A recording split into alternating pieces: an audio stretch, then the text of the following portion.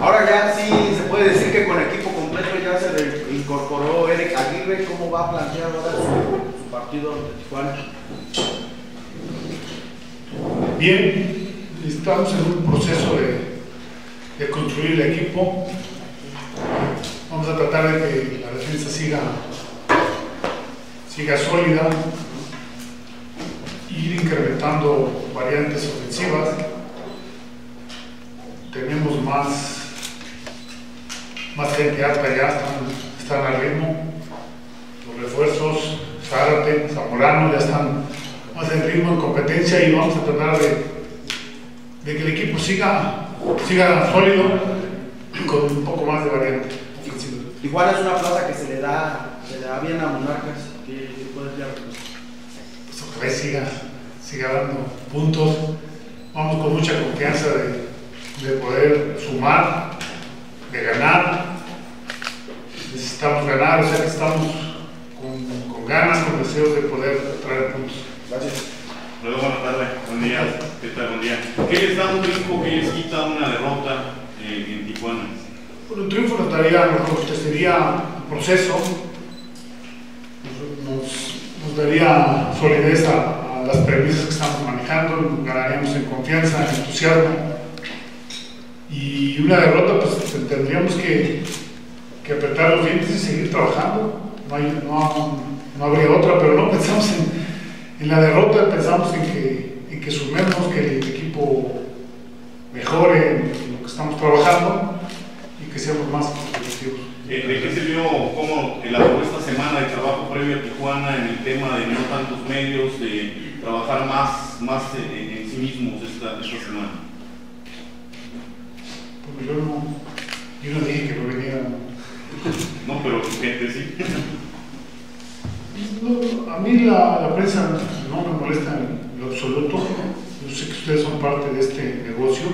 Tengo 40 años en, 40 años en, el fútbol, desde que debuté en el 74 y he convivido con la prensa para bien, para mal, para lo que sea, no, me molesta y, y, no sé, a lo mejor se, se manejan con con acuerdos pasados, pero yo no, a mí, ustedes pueden venir, excepto casi los días de la interesguada, quizás ese día es el único que no, que me permitiría yo no mostrarles algo, pero lo demás no tengo ningún problema.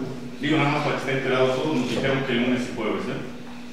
Bueno, vamos a, a tratar de, de coordinarlo mejor, yo creo que son malos entendidos nada más, pero no hay ningún problema. Por otra pregunta, eh, siente que de repente hay, por todo el entorno del que viene arrastrando este equipo, mucha desesperación afuera y cómo lo manejan adentro. Entonces, sí, yo pienso que la gente, la gente sí está un poco cansada de, de, todas las especulaciones, de que el equipo lo gana, pero pues, hay buena, buenas épocas y malas. Ahorita el buen aficionado tiene que, que aguantar que lleguen los triunfos, que siga viniendo, porque son muy necesarios para, para el apoyo y para la economía del club. O sea que necesitamos el apoyo de la gente. Sé que son etapas difíciles con las especulaciones y con los, los resultados que no se han dado, pero ojalá sigan, sigan viniendo y que los triunfos lleguen rápido.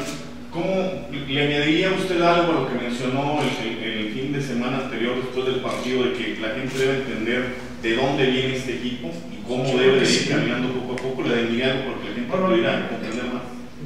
En mi, lo que es mi trabajo, sí. Yo creo que el equipo necesitaba reestructurarse mejor. Como lo dije el otro día del partido, con 34 goles en cuatro no llegas a ningún lado. Entonces, primero vamos a ponerle un poco de cimiento, de fortaleza, después vamos a tratar de que las variantes ofensivas vayan surgiendo. Hemos tenido buenas llegadas, bien construidas, no hemos concretado, no las que nos gustaría tener, y eso esperemos que en un futuro tengamos más llegadas de las que a veces estamos construyendo, pero yo sí les pediría en mi caso un poco de, paciencia porque el éxito se construye muchas veces, no es una varita mágica. Y agarrar un equipo que tuvo 10 puntos con 34 goles en contra, con 7 refuerzos, 8 refuerzos, no, no, no, es que, no es que tenga varita mágica y lo pueda hacer de la noche a la mañana. Aunque el equipo muchas, en muchos ratos juega bastante bien. Tijuana está fuerte, ¿no? Está arrancado Es bien. fuerte, es fuerte un equipo. Ya no hay equipos débiles en, en el fútbol mexicano. Es un equipo fuerte, bien estructurado, su cancha seguramente está de lleno y esperamos un juego muy difícil. Tena, buenos días. Buenos días. En ese proceso de reconstrucción del que usted habla, eh, ¿usted siente que hay crisis en el equipo, que los conceptos no están bien definidos? ¿En dónde se está fallando en ese proceso de No reconstrucción? tenemos crisis absoluta. Los resultados no se dan. Sí, pero tampoco nos, podemos volver locos ni, ni irnos los 11 al ataque, ni mucho menos. No hay ninguna crisis en este equipo.